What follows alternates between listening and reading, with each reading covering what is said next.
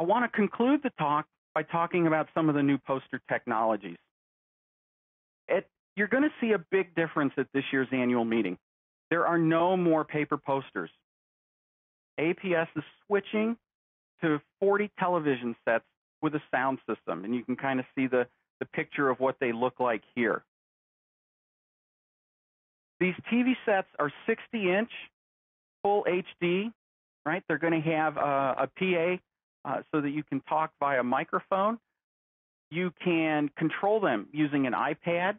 But what I think is really cool is that you can now embed animation in your poster. The posters, paper posters, are static, right? If you had movies, say you were doing some computational chemistry, you wanted to show some of the results of your docking experiment, you can show this in your poster use, you know, by embedding an MP4 file within it.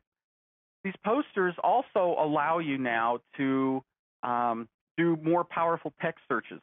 So before, if you just had the uh, you know the manual or the, the you know the, the poster book that comes with you know with your bag at the annual meeting, you could only look up what was in the um, poster, usually just by author. Now you can look up the entire poster using like Google search technology. You can also upload these posters online. There's no need for you to lug the, the carrier tubes anymore. There's no need for you to carry these posters into the room. You don't have to remember thumbtacks to hang them up. I mean, there's a lot of advantages to this. There's going to be a help desk support to do this, and these posters are going to be secure uh, and they're they're going to be non-editable. Poster hall is going to be open from 8 to 5 Monday, Tuesday, Wednesday, and from 8 to noon on Thursday. And every half hour, these posters are going to rotate. At the beginning of that half hour is going to be a five minute training session.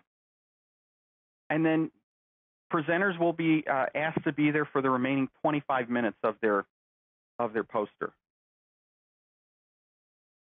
If you don't want to go to the big TV sets, there's going to be a digital poster cafe where you're going to have these smaller television sets, these tabletop things where you can sit down, have a coffee, look at these posters at your leisure. Uh, all of the, um, you know, like if you embedded an, uh, a movie file within your poster, these are going to be viewable uh, at these uh, tables as well. So it gives you a chance to kind of do things at your own speed when your schedule permits.